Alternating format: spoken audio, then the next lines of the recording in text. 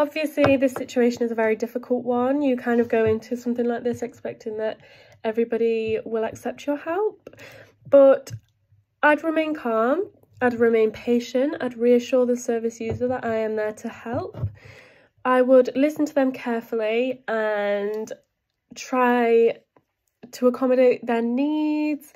Focus, I'd focus specifically on conf- not confirming or denying their fears or beliefs and more on how they feel or how their fears or beliefs are making them feel. Ultimately, though, I can't force someone to talk to me, and the top priority would be to keep me and the service users safe. Um, so I'd be constantly aware of the risks and knowing where and who to contact, how to contact them, uh, if I need any help in any way that isn't alarming.